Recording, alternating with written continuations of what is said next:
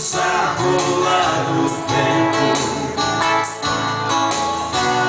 pela estrada com seu caminhão.